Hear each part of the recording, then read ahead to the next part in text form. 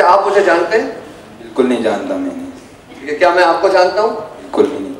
क्या आपकी first love मुझे जानती है? नहीं जानते हो ये बात आप कैसे कह सकते हैं? अच्छा एक बात मैं इनके माइंड को रीड करने की कोशिश कर रहा हूँ।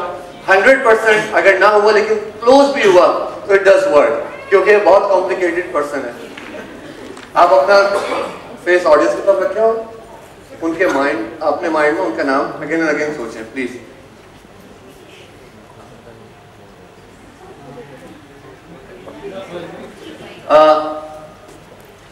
अगर मैं गलत नहीं तो आपका जो फ़र्स्ट लव है जिसका नाम आप सोच रहे हैं उनके नाम में फाइव लेटर्स आते हैं। आते हैं आते हैं।